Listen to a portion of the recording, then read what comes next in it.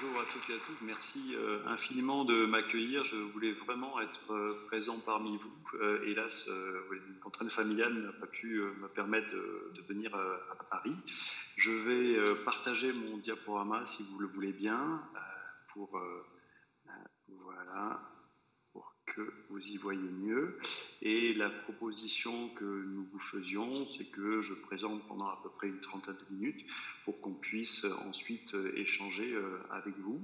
Donc mon propos s'appelle Améliorer euh, la maladie par les thérapies non médicamenteuses. Je suis professeur à l'Université de Montpellier.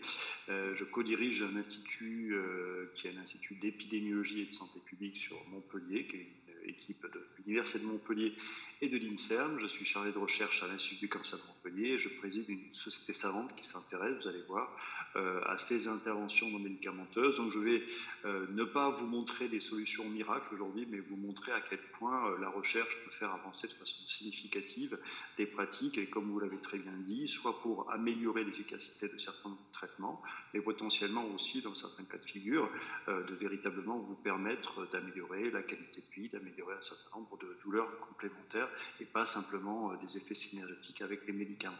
Je tiens à dire que je n'ai aucun lien d'intérêt avec ces pratiques. Hein. Je suis euh, actionnaire de rien. Je ne euh, suis en faveur d'aucune des pratiques. Mon métier, c'est de faire de la recherche et je suis euh, dans une position, et c'est vraiment très très important pour moi, scientifique, donc de rationalité de cette démarche, euh, transparente, donc tout ce que je vous dis euh, est fondé sur des données, des données probantes en particulier, des sources, elle est intègre, j'ai encore une fois surtout un intérêt de pouvoir travailler pour l'ensemble des malades, en particulier donc dans une association comme la vôtre, c'est très très important, et bienveillante, euh, parce que vous allez voir dans les médias sur ce sujet qui est un petit peu ténu, des médecines douces, euh, des personnes qui vont avoir des avis euh, soit favorables, soit défavorables, mais on sent potentiellement ils sont instrumentalisés. J'ai le privilège en tant qu'universitaire de ne pas être dans telle ou telle partie, mais bien de voir à quel point on peut faire avancer la recherche pour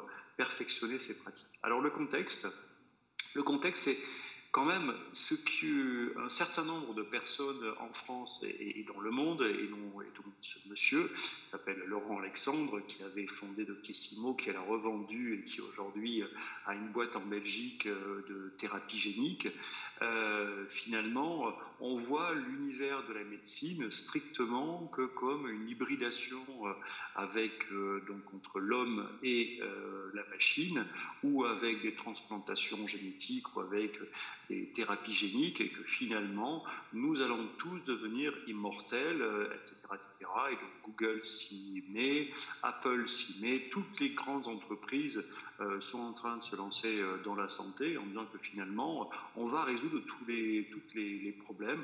Vous vous rappelez peut-être, je commence à devenir vieux, mais il y a, il y a déjà 20 ans, on expliquait que la thérapie génique allait tout soigner. Et hélas, on, on en est loin et je ne suis pas persuadé, euh, et à travers euh, l'épisode de Covid qu'on a pu vivre, que c'est nécessairement la seule façon de penser la médecine. Hein, ce transhumanisme, hein, c'est le, le, mot à la mode en tout cas, cette hybridation entre l'humain et la machine. Peut-être que dans mille ans, on en sera là, mais euh, pour l'instant, je crois que M. Laurent Alexandre nous vend beaucoup de rêves. Mais en nous vendant du rêve, de la même façon, ils ont une focalisation euh, spécifique sur finalement des traitements biologiques et en disant que toutes les maladies doivent être traitées par soit euh, un médicament, soit par une biothérapie, soit par une chirurgie, mais on a une focale qui est très limitée et ici dans ce site qui est euh, publié par l'INSERM, sur lequel il y avait eu un, rapport euh, pour euh, ces pathologies, vous voyez qu'en matière de traitement, tout ce qu'on peut voir, c'est traitement anti-inflammatoire, biothérapie modélatrice et ou immunosuppressive, la chirurgie, la transplantation fécale, mais finalement, on a une voie thérapeutique qui semble relativement limité, alors que potentiellement on pourrait aller beaucoup plus loin. Et c'est tout le sujet, en tout cas, de ma présentation, de dire qu'il y a peut-être aussi d'autres traitements d'autres soins qui peuvent être pertinents. Et ils peuvent être pertinents, pourquoi? Parce que euh, bah, finalement, ce vieux modèle de euh, on n'a que des médicaments, des chirurgies ou des euh, traitements radiothérapeutiques qui vont permettre des bénéfices ou des dispositifs médicaux qui peuvent permettre des bénéfices, on voit apparaître depuis une dizaine ou une vingtaine d'années en tout cas, de nouvelles formes de pratiques et certains d'entre vous peut-être utilisent des compléments alimentaires. Et ici, une pharmacie de Montpellier euh, a autant de parapharmacie sans aucune information et sans aucun contact avec un, pharmacien. Vous pouvez prendre absolument ce que vous voulez. Mais vous avez aussi euh, en bas sur la donc des herboristeries qui sont en train de se lancer un peu partout dans les grandes villes ou dans les moins grandes et sur lesquelles vous pouvez consommer des plantes. Et on voit aujourd'hui que finalement la pharmacopée euh, s'est agrandie et s'agrandit de plus en plus. Mais on peut imaginer de la même façon pour les régimes. Hein. Il y a à peu près une cinquantaine d'années, on ne pensait quasiment que le régime sans sel. Et aujourd'hui, vous entendez parler de, dizaines et de dizaines, j'en suis à une centaine de régimes euh, identifiés Hein, sur lesquels on va avoir des effets, le régime sans gluten, le régime sans lactose, euh, le régime non vegan, végétarien, etc. Et donc on est là dans une position sur laquelle les offres de santé sont en train d'augmenter de façon significative, mais on pourrait même imaginer que dans euh, ici cette balance pèse personne, hein, donc euh, je n'ai pas besoin de citer le nom.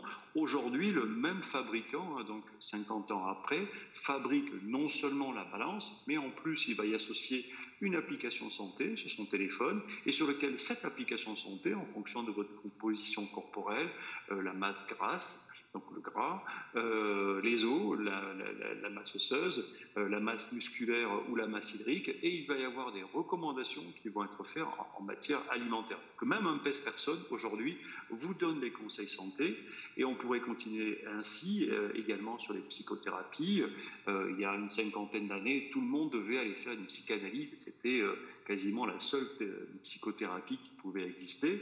Et aujourd'hui, on voit arriver non seulement de l'hypnose, seulement euh, des jeux vidéo euh, qui vont avoir des effets thérapeutiques, on voit arriver des méthodes psychocorporelles, vous avez entendu parler, du yoga, du mindfulness, de la méditation et plein, plein, plein, plein d'autres pratiques euh, qui sont proposées aujourd'hui pour aller mieux en matière de santé mentale. Et de la même façon, pour euh, l'activité physique. Il y a à peine une cinquantaine d'années, tous les malades traités pour un cancer devaient euh, suivre leur chimiothérapie ou leur chirurgie et ou leur radiothérapie et elles devaient absolument se reposer. Et aujourd'hui, la recherche a pu montrer qu'il faut absolument avoir des programmes d'activité physique adaptés qui soient pertinents pour les patients en fonction des cancers et en fonction de l'état de la personne. Et on va personnaliser ces programmes pour avoir de meilleurs bénéfices santé. Mais on va continuer comme ça. Des émergences de nouvelles offres de santé, vous en avez, euh, dont certains qui sont vus à la télé en disant pour maigrir, une excellente solution. Ça s'appelle un anneau minceur, donc euh, un anneau que vous allez mettre euh, au niveau des orteils et qui, selon un certain niveau d'effet euh, on va dire magnétique, va avoir un intérêt tout à fait majeur. Et vous voyez, c'est vu à la télé, c'est forcément quelque chose de sérieux.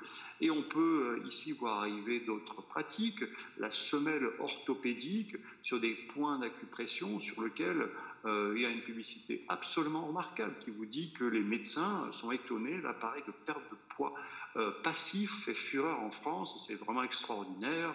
Euh, vu à la télé avec des commentaires positifs de médecins, de patients, etc. etc. Mais on peut continuer aussi hein, des, offres comme l'urine-thérapie euh, qui aurait manifestement des effets euh, tout à fait significatifs sur les indigestions, sur les infections, sur les migraines, etc. Donc boire de l'urine hein, pour faire court. mais vous avez aussi ces pratiques de jeûne intermittent, donc une application santé qui est lancée euh, que vous pouvez télécharger euh, sur votre téléphone et qui va vous aider à faire des jeûnes et en disant que c'est une thérapie euh, tout à fait remarquable. et on continue comme ça. Des événements spécifiques qui vont être soit des événements comme ici les thermalies, donc des salons de l'eau et du bien-être, des salons de bien-être de médecine douce, hein, et notamment à Paris, dans le sud de Paris, hein, porte de Versailles, où vous avez des événements de ce type-là sur lesquels on va vous promettre beaucoup, beaucoup, beaucoup de choses et sur lesquels, bien entendu, euh, les médias ne sont pas sans entendre la demande et, évidemment euh, répondre à cette demande avec plein plein de journaux et même de journaux spécialisés de médecine douce, de médecine naturelle et vous avez même des hors-séries de m'intéresse, de Science et Vie, de Paris Match hein, et euh, de la même façon Michel Simès et Adrien Carambeu euh, font un reportage sur France 2 en montrant à quel point cette médecine douce, complémentaire, naturelle, intégrative devrait ou pourrait vous faire du bien. Mais je continue encore hein, sur l'inventaire parce que je crois que euh, un de mes premiers messages, en tout cas, va être de vous dire à quel point les offres deviennent absolument multiples. Eh bien, vous avez des plateformes, ici, plateformes de médecine chinoise, sur lesquelles vous pouvez commander plein de produits qui seraient prétendument euh, bénéfiques pour votre santé et sur lesquels ils sont issus de la médecine chinoise et vous pouvez le commander, vous avez le, le lendemain chez vous un champignon, une plante, etc. etc. Mais ce n'est pas fini. Il y a non seulement, je vais évoquer des produits, des méthodes, mais vous avez également des espaces. Ici, donc au sud de Montpellier, vous avez un pôle de médecine douce qui a été créé avec de la microkinésithérapie, avec de la sophrologie, avec de l'hypnose, de la réflexologie, de la micronutrition, de la euh, micropraxie. Vous avez également de la Gestalt thérapie. Bref, on a une offre conséquente, mais qu'on va retrouver également ici à Paris dans un centre qui s'appelle le centre Vitruve, sur lequel on a un centre de médecine globale, centre de santé intégrative, euh, et sur lequel vous pouvez réserver des praticiens dont les noms ne sont pas nécessairement euh, très connus. Donc il y a d'un côté finalement euh, un avis souvent je veux dire, de médecins formés au siècle dernier sur lequel ces pratiques sont presque potentiellement dangereuses ou elles sont ignorées par les médecins. Mais euh, à l'inverse, les associations de, patients, peut-être que certains d'entre vous utilisent ces pratiques, mais disent ben, moi j'ai envie qu'on me pousse, en tout cas où on pousse les, chercheurs et, les praticiens à regarder d'un peu plus près, parce que je veux mettre toutes les chances de mon côté pour aller mieux. Euh, et finalement, euh, toutes ces pratiques qui ont l'air naturelles pourraient avoir finalement un bénéfice, ça ne peut pas me faire de mal. Et comme en moyenne, je vais passer 12 minutes chez un médecin généraliste, donc je n'ai pas le temps de lui raconter vraiment tous les problèmes que j'ai liés à, mes symptômes et, à mes difficultés. Bah, finalement, j'ai besoin d'être mieux écouté et peut-être que ces praticiens de médecine douce répondent euh, mieux parce qu'ils s'accordent peut-être plus de temps à la parole et euh, aux problématiques des patients.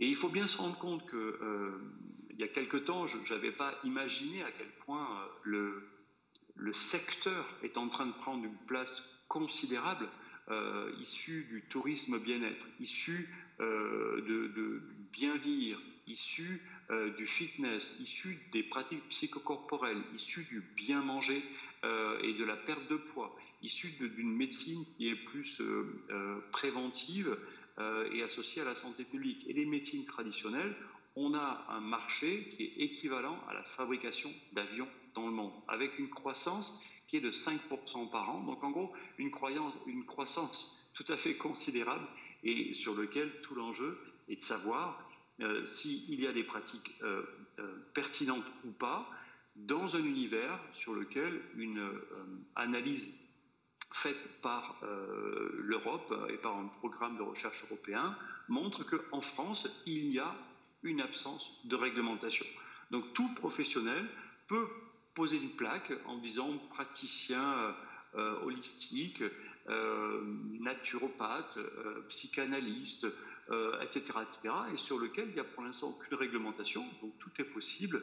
Et évidemment, les autorités ont commencé à réagir, mais ont commencé à réagir strictement que depuis 2010, en, en disant attention, soyons au clair, euh, il y a un mot euh, qui va s'appeler intervention non médicamenteuse, donc je vais beaucoup parler d'INM euh, lors de la suite de ce diaporama, sur lequel on peut arriver à les valider, les évaluer, et elles sont bien fondées sur la science. Et vous avez après des pratiques non conventionnelles de soins sur lesquelles il n'y a pas de recherche, ou potentiellement les recherches ont été négatives, mais on continue à les utiliser à cause de, de routine. Donc le, ministère euh, à l'époque hein, des solidarités et de la santé, devenu le ministère de la Santé et de la Prévention, donc encourager en tout cas dans sa stratégie nationale jusqu'en 2022, jusqu'à la fin de l'année, donc la recherche et l'évaluation de ces interventions non médicamenteuses. Donc on est en train de rentrer finalement, vous voyez, dans une logique sur laquelle on va pouvoir évaluer ces pratiques de façon significative et en disant le mot médecine douce est finalement une nébuleuse qui cache beaucoup de choses euh, et sur lequel rentrer dans une logique d'intervention non médicamenteuse, c'est véritablement utiliser des pratiques qui sont fondées sur la science. Alors, quelques préambules, si vous permettez, pour bien préciser euh, ce que j'entends par intervention non médicamenteuse et ce que la haute autorité aussi entend euh, de santé entend par intervention non médicamenteuse. Si on, s'arrête aux approches, l'ostéopathie, la kinésithérapie, la kinésiologie, la chiropraxie, euh, si on parle de la diététique au sens large, on est dans une discipline. Et en fait, une discipline, ça ne s'évalue pas. On ne peut pas évaluer l'ostéopathie, est-ce que ça marche ou pas.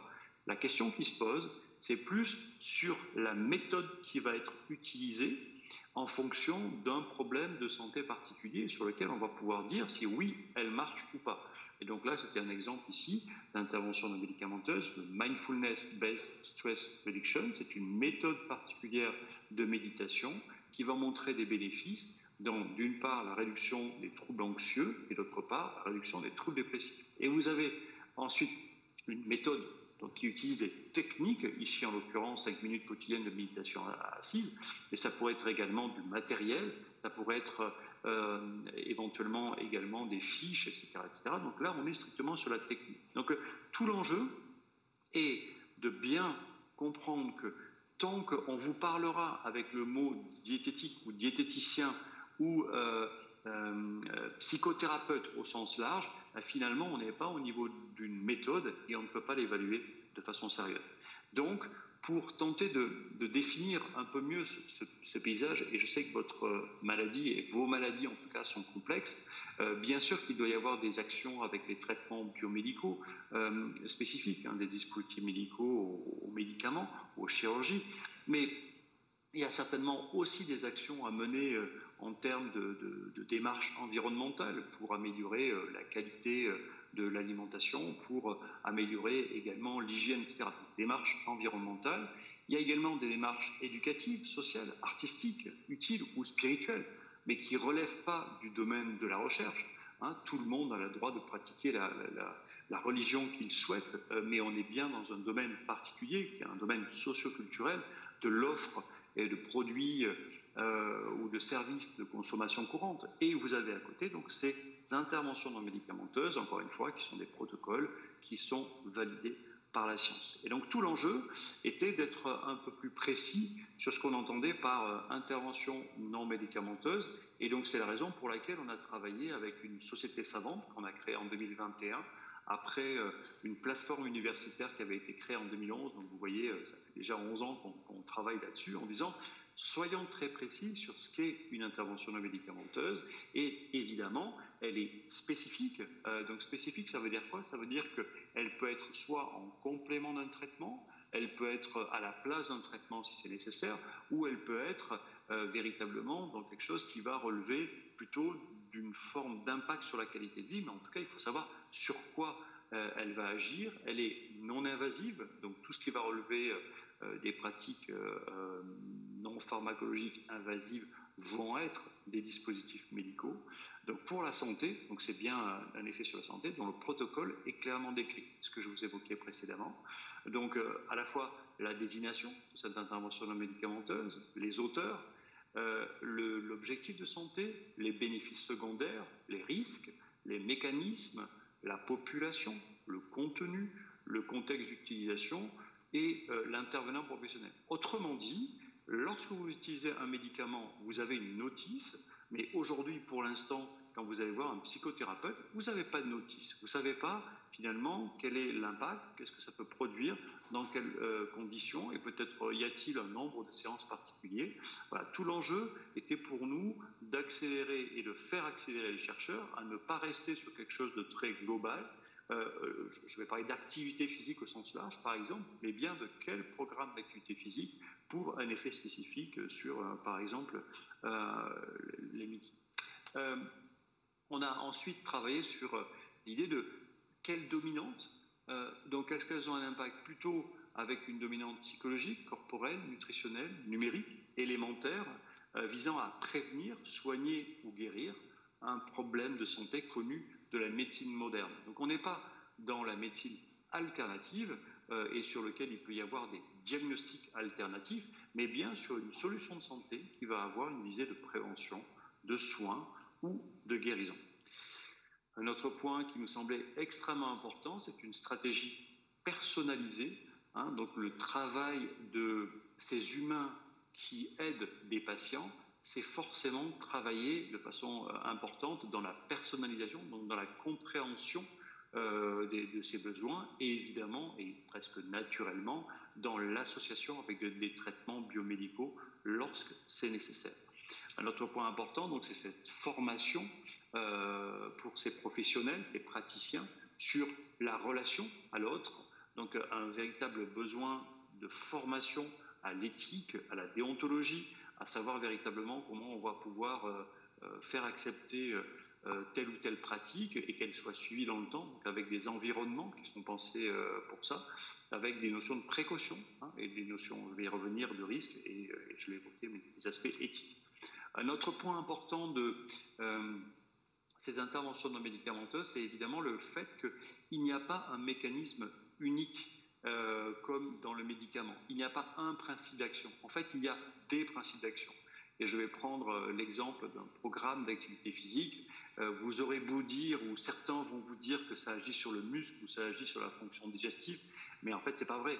Un programme d'activité physique, ça agit à la fois sur le muscle, à la fois sur les fonctions digestives, mais aussi sur le cerveau, mais aussi sur la circulation sanguine, mais aussi sur des connexions entre les neurones.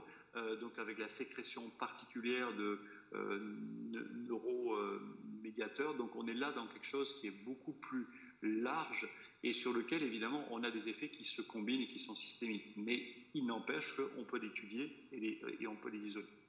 Un autre point important, c'est que ces pratiques euh, ont été validées par des études cliniques. Autrement dit, qu'elles vont avoir des études rigoureuses sur lesquelles on va comparer euh, des programmes et sur lesquels, évidemment, elles ont suivi également un point euh, d'intégrité et de convergence. Bref, sortir de la recherche strictement sur les opinions. Et il est vrai que beaucoup, beaucoup, beaucoup de personnes euh, s'arrêtent en fait à l'interview de patients en disant bah, finalement ça marche parce que des patients sont satisfaits. C'est une partie de la recherche, je ne dis pas qu'elle est mauvaise, mais le simple fait de chercher les opinions c'est aussi potentiellement euh, euh, quelques types d'erreurs. Et vous avez ce dessin qui dit euh, comment je peux croire si, si, cette, cette histoire est vraie.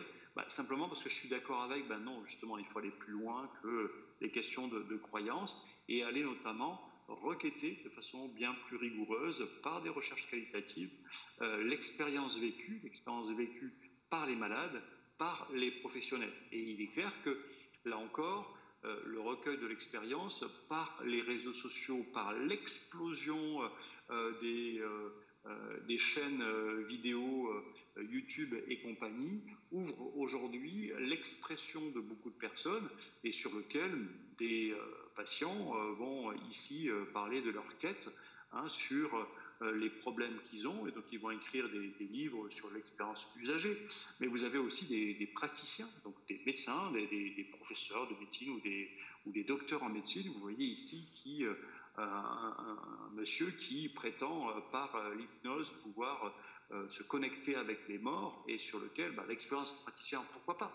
Mais encore faut-il arriver à vérifier que, que ces dires sont vrais et évidemment, et je, tiens à vous le dire parce que c'est un élément important, notamment dans, vos pathologies et ce qui va relever de la maladie de Crohn, etc., de toutes ces, problématiques-là, on a aujourd'hui des influenceurs, et je ne vais pas citer ce, monsieur, hein, mais qui dit des choses absolument terribles. Euh, mais évidemment, ça ressemble de la science, mais ce n'est pas de la science. Ils n'ont pas fait de science, ils ont aussi euh, des liens d'intérêt avec un certain nombre de produits euh, et ils vendent des formations et euh, ils n'ont euh, pas grand-chose à dire. Tout l'enjeu, et si on veut avoir une recherche rigoureuse, c'est effectivement de continuer la recherche fondamentale, les mécanismes d'action, mais potentiellement également travailler sur de la recherche clinique. on appelle ça evidence-based. En fait, evidence, ça veut dire en anglais plutôt preuve, données probantes. Donc on est bien dans une recherche de données probantes. Et euh, je voulais vous rappeler, pour celles et ceux qui vont entendre dans un certain nombre de médias, mais non, ces pratiques, elles ne peuvent pas être évaluées, ce n'est pas possible, on ne peut pas les évaluer. Eh bien, un des plus grands patrons de la recherche, polytechnicien, chercheur en, santé publique et chercheur en méthodologie euh, de, la recherche médicale a pu dire, euh, vous voyez, c'était en 1986, hein, ça, date un peu, mais que l'évaluation rigoureuse des médecines douces est quelquefois impossible, le plus souvent difficile. Mais beaucoup d'évaluations totales ou partielles, et vraiment euh, beaucoup plus qu'on ne le dit, restent possibles. Leur réalisation demande surtout qu'on le veuille, or le plus souvent on ne le veut pas. Hein, donc on était en 86 et effectivement, il y a eu peu de recherches dans le domaine. Euh, en revanche, donc une autre personne, donc c'est un euh, américano-canadien, euh, qui montre qu'on peut tout à fait évaluer de façon rigoureuse, donc par des études qu'on appelle interventionnelles ou cliniques, sur lesquelles on va utiliser un groupe qui va de façon randomisée donc utiliser un soin ou un groupe qui va utiliser une autre pratique, eh bien finalement, on va pouvoir comparer pour voir s'il y a des bénéfices si sur ce groupe sur lequel on va faire une stratégie non médicamenteuse, on va avoir 1%, 2%, 3%, 50%. 90% des patients qui vont aller mieux euh, par rapport à un groupe contrôle sur lequel il n'y aura pas d'effet ou il y aura un, autre effet euh, significatif. Donc cette recherche clinique, euh, elle a mis beaucoup, beaucoup de temps à arriver dans le domaine des interventions non médicamenteuses. Et donc on, on œuvre avec, je vais euh, finir et conclure sur, ce sujet euh, après, mais en disant qu'on a besoin d'une grille de lecture unique pour pouvoir évaluer les pratiques pour les malades. Et aujourd'hui, pour l'instant, on a 46 manières d'évaluer ces pratiques. Et donc, euh, j'avais fait un ouvrage en, 2019 là-dessus et, en poussant à ce que finalement beaucoup de personnes se mettent d'accord euh, pour dire voici la grille d'évaluation. Et comme ça, on y verra clair. Et, vous avez ici donc euh, cette grille donc, de la recherche observationnelle et mécanistique, de permettre aux chercheurs de préciser, par exemple, quel est le régime particulier et qui soit euh, bien mieux décrit. Et après, une recherche interventionnelle, comme je l'évoquais, et ensuite une recherche en implémentation pour voir comment le diffuser, parce qu'évidemment, entre la Lozère et Paris intramuros, on n'est pas du tout dans les mêmes dispositions. Donc comment les mettre en œuvre, c'est aussi un, élément euh, important. Donc tout l'enjeu, c'est effectivement de dire que ces pratiques, ces interventions non médicamenteuses ont des bénéfices sur la santé euh, qui sont identifiés, mais aussi des risques. Et toute pratique qui vise à améliorer la santé peut potentiellement avoir des interactions dangereuses des risques, euh, des effets secondaires, euh, des sujets qui ne sont pas répondeurs pour X ou X raisons et que la recherche a besoin d'identifier de façon plus précise euh, toutes ces toxicités. Et donc, une intervention non médicamenteuse doit potentiellement présenter des bénéfices, oui, mais doit également présenter des risques. Et alors, on s'est lancé dans une classification, et vous voyez, on est dans une classification encore générique, hein, sur lequel les interventions psychologiques dans vos pathologies pourraient avoir des effets, euh, mais encore faudrait-il qu'il y ait de la recherche sur le, sujet de l'art-thérapie, des programmes d'éducation pour la santé, que vous connaissez peut-être par programme d'éducation thérapeutique, des psychothérapies, des pratiques psychocorporelles, des thérapies assistées par l'animal, ensuite des, programmes physiques, donc des, programmes d'activité physique, de l'ortithérapie par le jardinage, des physiothérapies ou des, pratiques de kinésithérapie des thérapies manuelles, des techniques de puncture, des programmes balnéologiques, thermales en particulier, des compléments alimentaires, euh, des programmes nutritionnels, donc des régimes en particulier, euh, des, applications santé, des thérapies par le jeu vidéo, des thérapies par la réalité virtuelle, et pareil de façon élémentaire, euh, à la fois des minéraux, des champignons, des plantes et des méthodes électromagnétiques peuvent avoir des effets comme des des soins cosmétiques. Donc en pratique, ce que je voulais euh, vous évoquer, c'est un, livre euh, que j'ai écrit, et merci de l'avoir évoqué. Euh, il y a aujourd'hui la science et, de la science rigoureuse pour certaines pratiques, mais pas toutes. Et le jeu, c'est bien effectivement de pouvoir trier les bonnes, donc celles qui sont efficaces, celles qui ont une cible particulière, de celles qui sont soit inconnues, euh, soit qui ont des études négatives et sur lesquelles vous devriez euh, passer à côté. Donc on a essayé de, définir dans, le travail qu'on fait avec euh, la société savante cette grande différence qu'on peut avoir entre, vous voyez en haut à gauche, des produits et des services de consommation courante, regarder de la télé, faire de la peinture, visiter un musée, etc. On est bien dans un domaine euh, ici de la consommation courante. En revanche, à droite, vous avez des campagnes de promotion de la santé qui sont utiles évidemment. Hein. bougez plus, mangez moins sucré, moins gras, moins, moins salé, euh, ne fumez pas, buvez le moins possible d'alcool, etc., etc. On est bien dans des campagnes de promotion de la santé, mais on n'est pas dans des actions ciblées. Et si on rentre dans le domaine ciblé, ben oui, effectivement, il y a des pratiques non étudiées et ou non validées par la science pour l'instant, hein, donc on va appeler des pratiques non conventionnelles de soins. Et vous avez en bas à droite des pratiques étudiées et validées qu'on appelle des interventions non médicamenteuses. Et tout l'enjeu, c'est effectivement, et mon, livre ne fait que des illustrations en disant, ben, oui, on en a effectivement dans le cadre du bas à, droite, mais il en reste pas mal euh, qui sont à gauche, et il y a évidemment des dérives sectaires qui peuvent être conséquentes dans, dans, dans, dans ces pratiques. Donc en conclusion, parce que je voulais euh, vous laisser euh, euh, le, temps d'échanger, évidemment, même si, encore une fois, je suis désolé de ne pas être parmi vous. Donc distinguer les pratiques fondées sur la science, des interventions non médicamenteuses, des pseudomédecines, je crois que là, il y a un enjeu aujourd'hui très, très important, parce que vous avez des approches de médecine douce qui ont également des diagnostics alternatifs. Et je pense qu'elles sont potentiellement celles-ci euh, à éviter. Et il y a des pratiques qui sont véritablement fondées sur la science en prévention ou en thérapie et sur lesquelles elles commencent à être organisées et de mieux en mieux organisées. Deuxième point, c'est surveiller. Aujourd'hui, euh, donc la recommandation qu'on peut évoquer, c'est évidemment le point de l'attention sur les effets secondaires, parce qu'on a, euh, pour des raisons un peu naïves, l'idée que parce qu'elles sont naturelles, euh, elles ne vont avoir aucun effet secondaire ou qu'on va incriminer aux médicaments parfois des effets secondaires.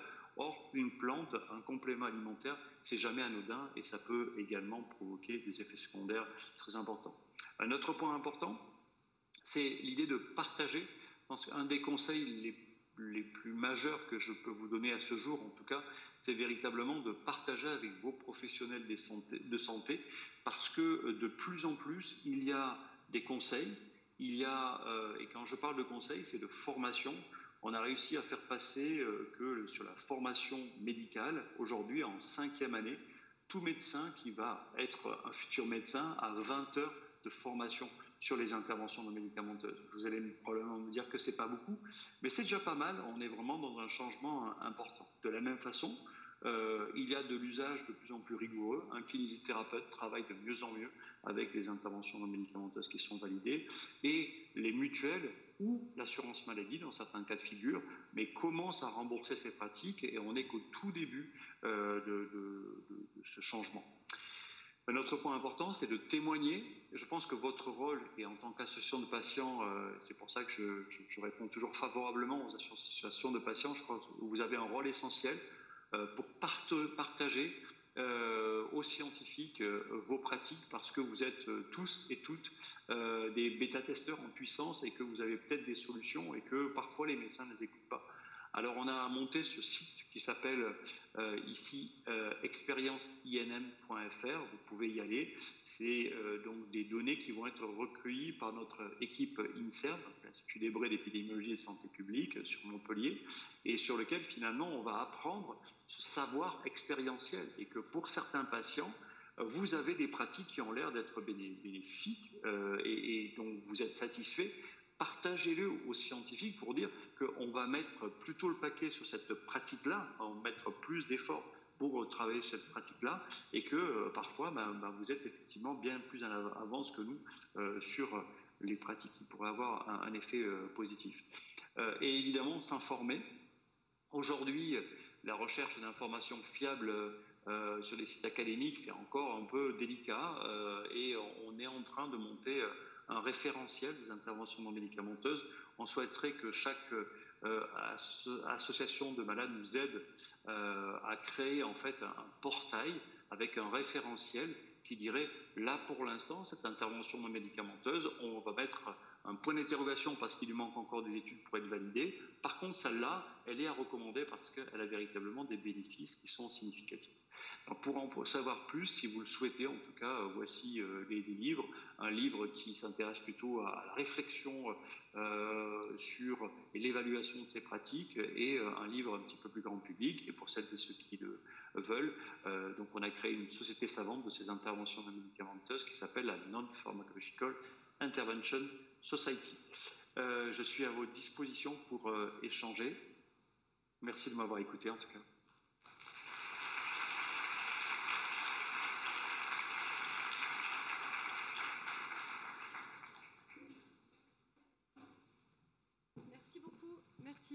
Un, très très grand merci. Alors je dois vous dire une chose, c'est que euh, en fait on voit bien le professeur Grégory Nino, mais lui il ne nous voit pas. Euh, c'est parce qu'en fait il n'a pas de vidéo retour, mais euh, je crois que en tout cas on peut dire, on peut, on peut essayer de, synthétiser. Et puis moi je suis, je suis assez, comment dire, je suis assez frappée par le fait de ce que, ce que vous disiez, parce qu'on en parlait justement ce matin, de, l'aspect pléthorique en fait de l'offre en santé et de comment à un moment donné on n'arrive pas vraiment à s'y retrouver. Donc euh, je vous, poserai peut-être une question justement euh, là-dessus. On sait aussi que, et c'est ce qu'on a dit aussi ce matin, et on le sait, on, est, on a affaire notamment dans, les Mickey à des maladies qui sont des maladies systémiques en fait. Hein. Euh, c'est pas seulement un intestin qui est malade, il y a vraiment quelque chose qui est de l'ordre de la globalité. Donc comment retrouver cet équilibre?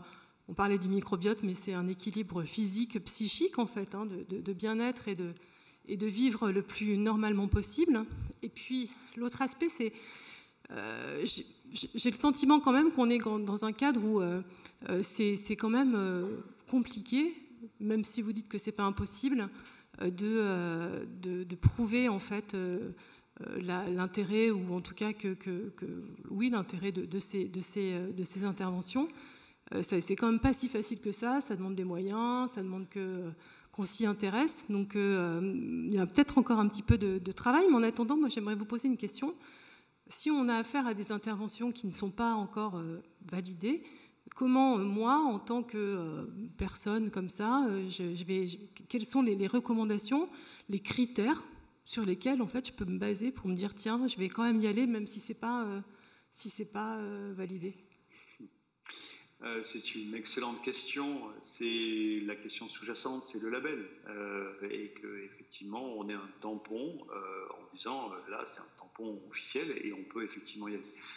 Euh, écoutez, c'est compliqué. On demande depuis dix ans à la haute autorité de santé de faire le travail, c'est-à-dire d'avoir le courage de commencer à dire regardez là, on arrive à avoir un label pour euh, la viande, un label pour je sais pas quoi, euh, il y a, des labels sur, sur tout, mais sur la santé, manifestement, on n'est pas capable d'en faire dans, dans, ce domaine, et donc on, œuvre avec la société savante pour dire oui, effectivement, on doit avoir aujourd'hui un label sur des pratiques et qui serait effectivement référencé. Donc là, au bout de dix ans d'efforts et euh, d'un succès euh, parce que les autorités euh, n'entendent pas encore parce qu'elles ne veulent pas non plus peut-être rentrer dans cette nébuleuse, mais en disant que ben, faisons autrement. Et donc la solution qu'on est en train d'imaginer, qu'on va lancer, parce qu'on est en train de, collaborer, peut-être que M. Liberator est dans, la salle, mais, mais, en tout cas l'enjeu est, de déposer à l'Agence euh, nationale de la recherche, on vient de déposer avec des associations de patients, avec des praticiens et avec des chercheurs, en disant euh, fabriquons un modèle d'évaluation qui, comme dans le médicament il y a 60 ans, a permis de dire ça c'est un médicament et ça ça n'en est pas. Et en disant si on a suivi cette logique de validation, alors potentiellement, effectivement, il y a des preuves suffisantes et on va pouvoir informer euh, sur un site web, par exemple, en disant que la méthode A, la méthode B ou la méthode C fonctionne.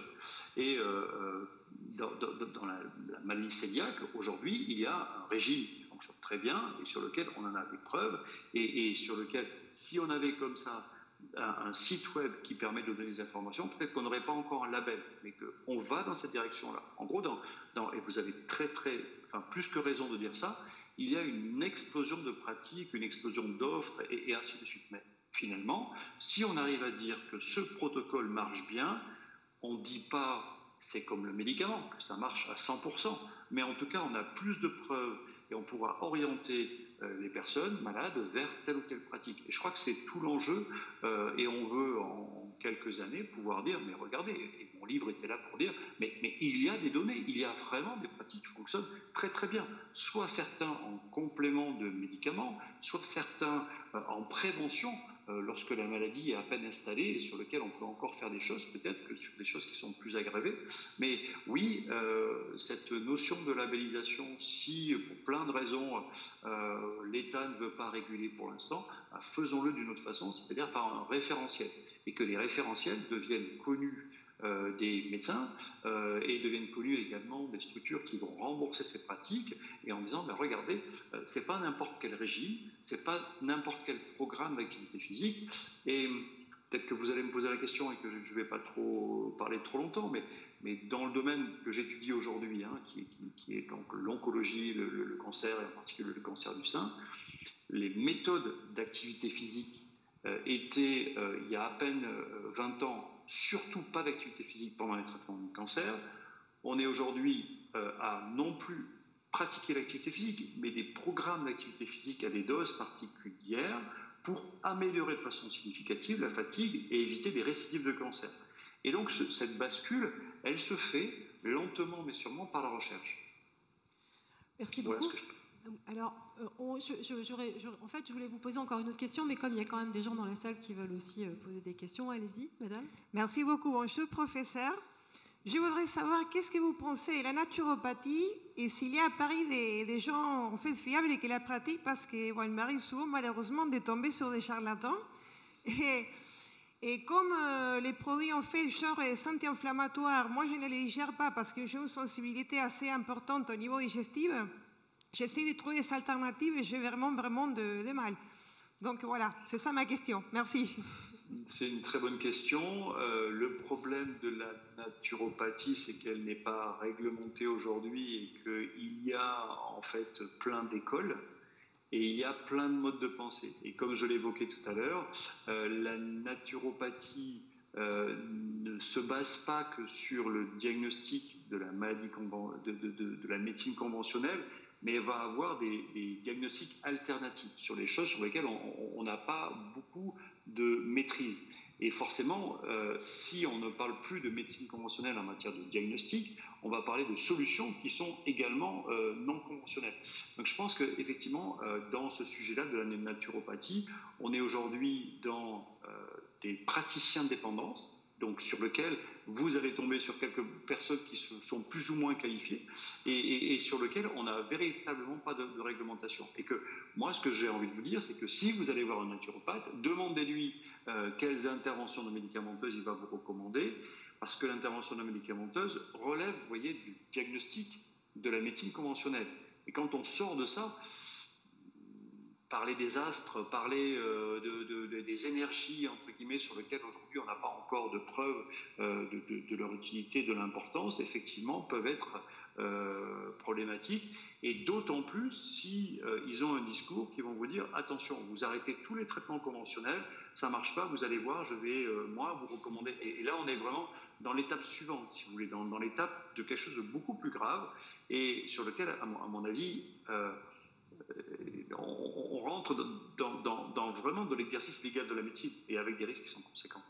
C'est ce que je vous demandais tout à l'heure, hein, euh, professeur Nino. C'était mmh. finalement, euh, moi, en personne lambda, euh, quels sont mmh. les petits critères ou les, justement les, petites choses qui vont, me, qui vont me faire dire non, là, en fait, je suis plutôt dans, l'ordre du charlatanisme. Alors, mmh. vous avez parlé de, effectivement, demander au professionnel quel est son projet par rapport au diagnostic que l'on a. Euh, vous avez effectivement parlé de euh, quoi, de la formation, de, euh, du prix. Est-ce que, enfin, ces petits critères de bon sens en fait, qui vont me guider et qui vont me dire non là, peut-être que c'est pas forcément formidable?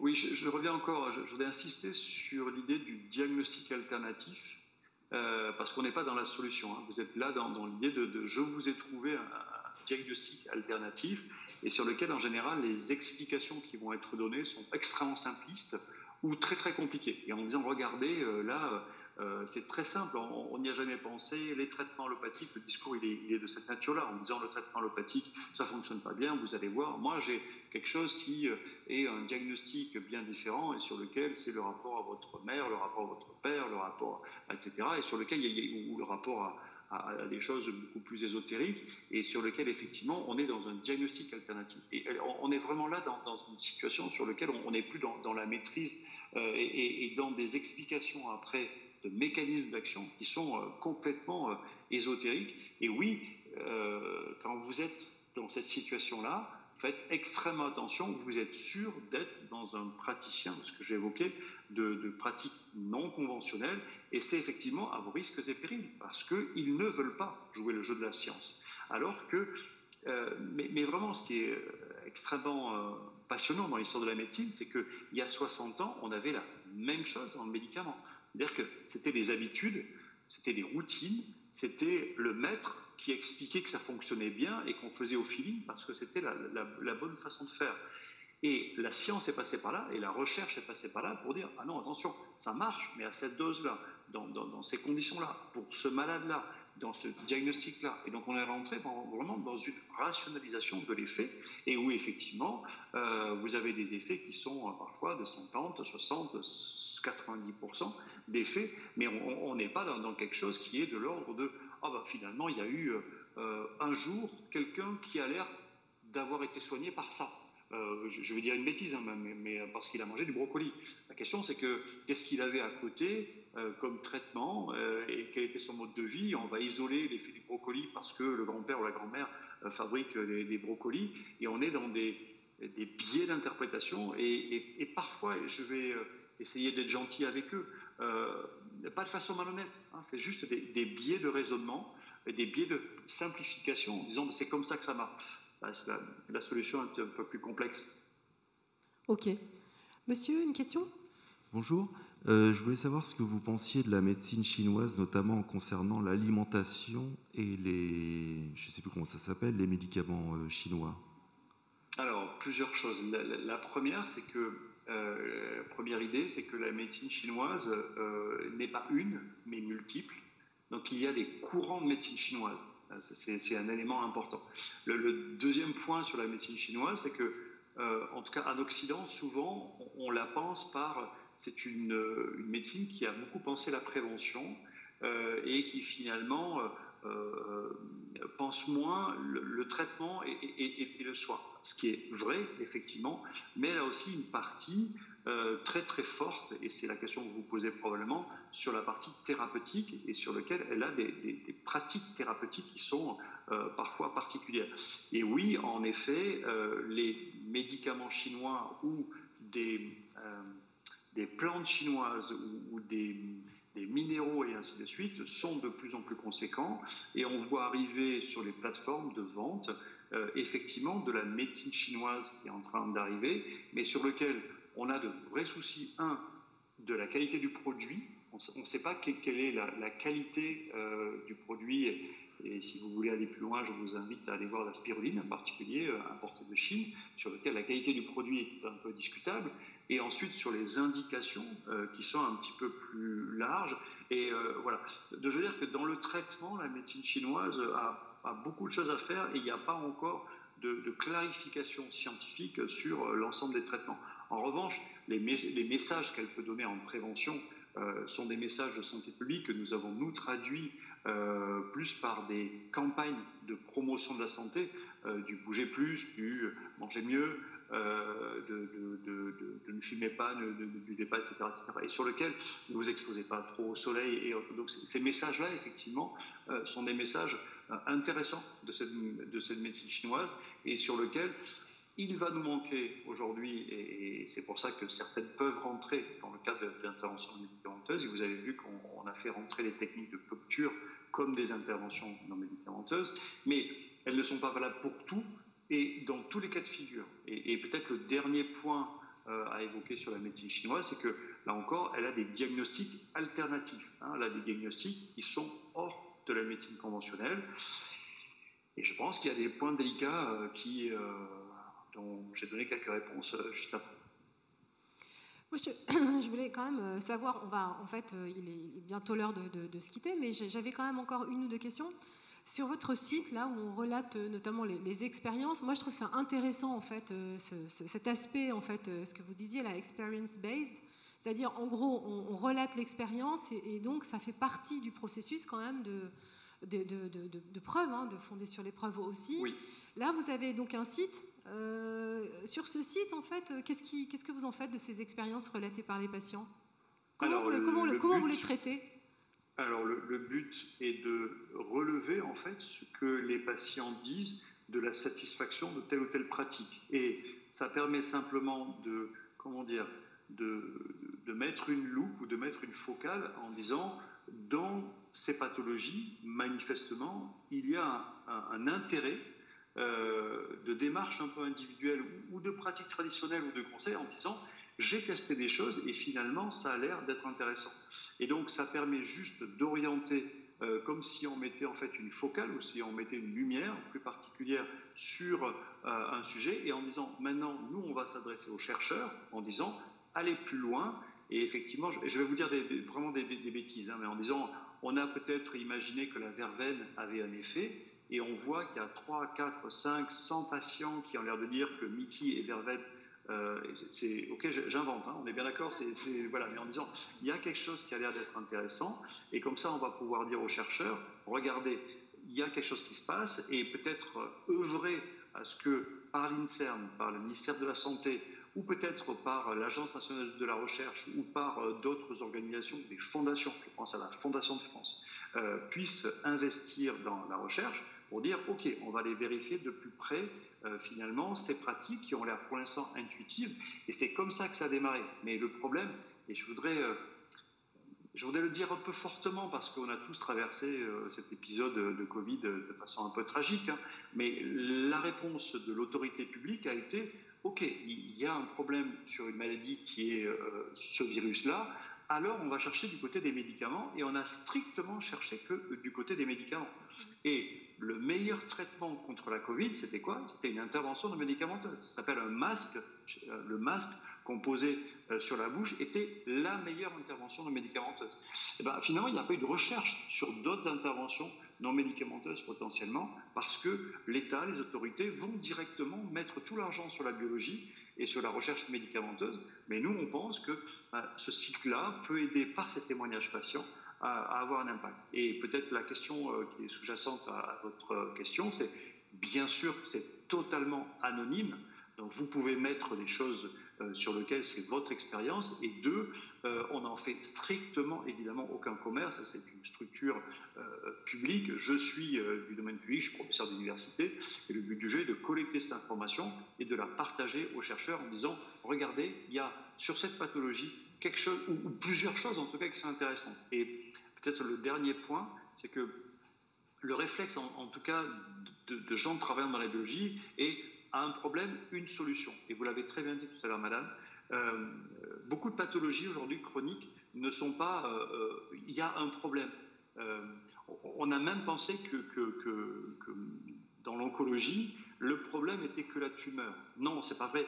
Il y a l'environnement. Donc il y a la personne. Et on se rend compte à quel point, pour traiter la tumeur, il faut aussi soigner la personne. Et donc soigner la personne, ça veut dire que potentiellement, vous avez bien sûr une chimiothérapie, mais à côté, vous avez d'autres traitements complémentaires qui vont potentialiser l'effet de la chimiothérapie, mais également permettre à la personne d'aller mieux. Et tout l'enjeu, c'est que, effectivement, on a aujourd'hui des maladies complexes qui méritent ou qui exigent des solutions multiples. Et donc les patients témoignent en disant je prends ça, ça, ça et ça, et que ce n'est pas la verveine, mais je vais dire une bêtise, hein, mais la verveine, le millepertuis euh, et un régime particulier, bah, ça a beaucoup mieux fonctionné. Bah oui, effectivement, que les patients nous aident à témoigner de façon anonyme en disant on n'a rien à gagner, on n'a rien à perdre, mais au moins qu'on fasse ces, focales euh, intéressantes sur euh, quel est le sujet pour aller plus loin et identifier les bonnes INM pour les pathologies. Écoutez, d'abord, je, voudrais souligner que enfin, je suis absolument d'accord avec vous, mais en plus, je trouve que votre enthousiasme est, très très important et je trouve que c'est vraiment, comment dire, très rassurant de la part d'un professeur des universités et d'un chercheur de, pouvoir s'intéresser finalement à, ce qu'on vit ou ce qu'on peut expérimenter tous les jours. Donc merci beaucoup pour, pour ce topo. C'est quelque chose qui est vraiment important, je pense aussi, à entendre. Et je trouve que c'est remarquable que vous ayez été là euh, même, sans nous, mais quand même c'était remarquable. Donc un très très grand merci euh, pour ça. Euh, on peut quand même effectivement relater ces expériences sur le site. Nous, et c'est vrai, vous avez raison, en tant qu'association de patients, on fait aussi remonter pas mal des expériences justement de, réussite. Mm. Voilà, et je pense que c'est aussi via la, récurrence finalement de ces réussites qu'on peut orienter des pistes et chercher des choses. Donc je pense que c'est vraiment intéressant et super important d'être à l'écoute des expériences des patients. Merci beaucoup et on vous souhaite euh, bon courage pour, euh, pour la suite. Un très très grand merci d'avoir été là avec nous quand même. Merci beaucoup. Merci, merci.